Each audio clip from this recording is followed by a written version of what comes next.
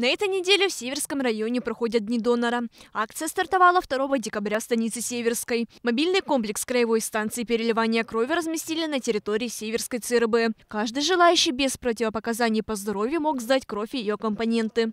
Процедура кроводачи занимает от 5 до 10 минут. За это время у донора возьмут 490 мл крови. Именно они могут спасти чью-то жизнь.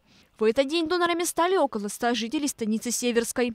Также День донора прошел 9 декабря в поселке Ильский. Мобильный комплекс переливания крови посетил местную амбулаторию. Я сдаю 16 -го года, с 14 -го года. То есть уже 6 лет.